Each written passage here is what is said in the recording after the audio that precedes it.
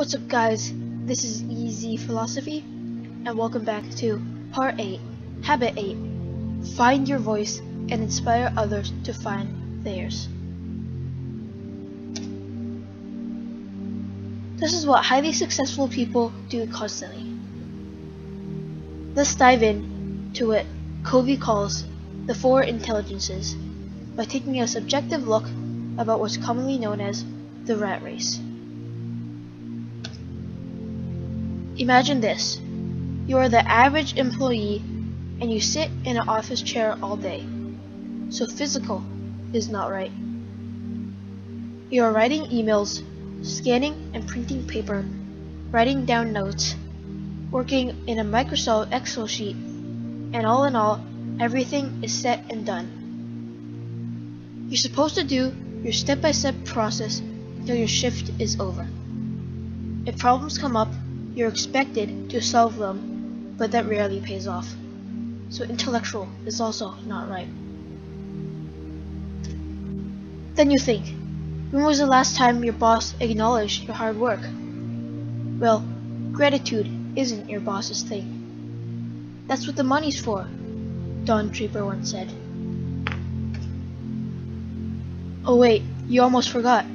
You are getting paid half the minimum wage because you're an intern, and therefore not as valuable as Dave here, who is sick every Monday and who is constantly telling you that he has over 20 years of experience with this job, while you're fixing the things he screwed up. So emotional is also not correct. If you have to do this until you're 65, as it stands now, you should just quit it's only going to get worse. So spiritual is also not correct. So why did we cross those four words out? These four words are highly suppressed under the economic system we live in. Hence, it shouldn't come as a surprise that we're facing a serious increase of cases of severe depression and suicide rates when we deny our true nature. Being civilized used to mean something good. Nowadays, it's just an ad hominem to throw in for, for someone who is losing an argument. As humans, we are very susceptible to the influence of others, especially when they're trying to drag us down. You might be having a great day when someone negative ruins it by letting their frustration out on you. It spreads like a disease, and so Covey lists five cancerous behaviors that inhibit us from greatness. Number one is criticism. Number two is complaining. Number three is comparing. Number four is competing. And number five is contending. And guess what? The office you just worked in is full of it. Having a traditional job as your main income source is fairly common, but in today's world, we can't merely rely on our company's loyalty towards us to keep our employment. Even more, those cancerous behaviors are slowly, but surely, making us miserable. We need to establish income sources and build or acquire assets that will soften, if not prevent, our fall from grace.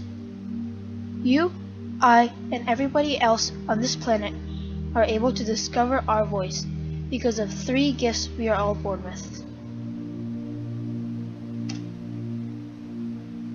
We were born with, number one, the freedom to choose.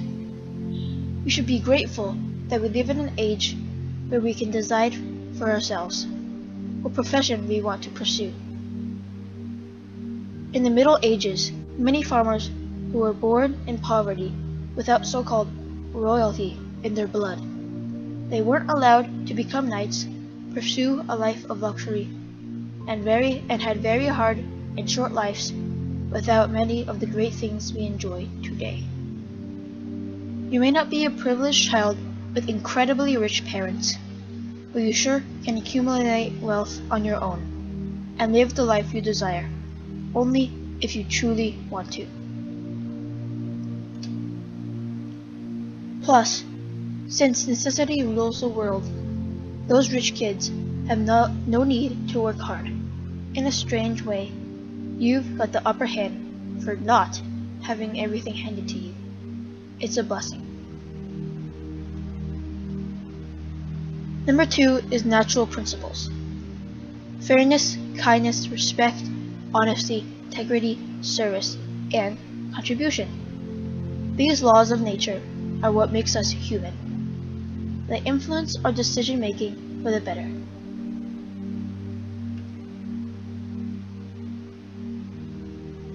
Number three is the four intelligences. Mental, physical, emotional, spiritual. Each of them are unique in their own way, and they're heavily linked to each other and work best in synergy.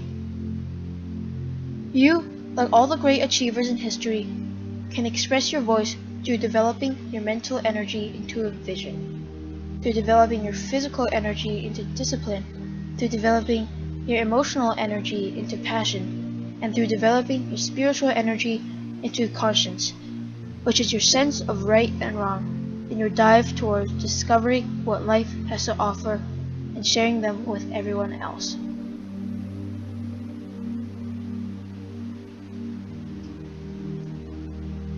This is what many modern-day masters, such as very Gary Vaynerchuk, Tim Ferriss, Seth Godin, refer to as storytelling.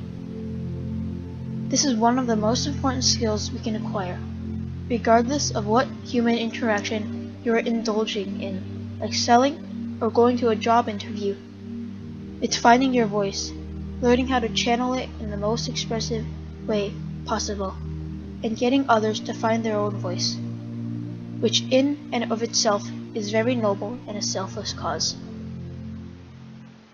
Thanks for watching. Now go get the books.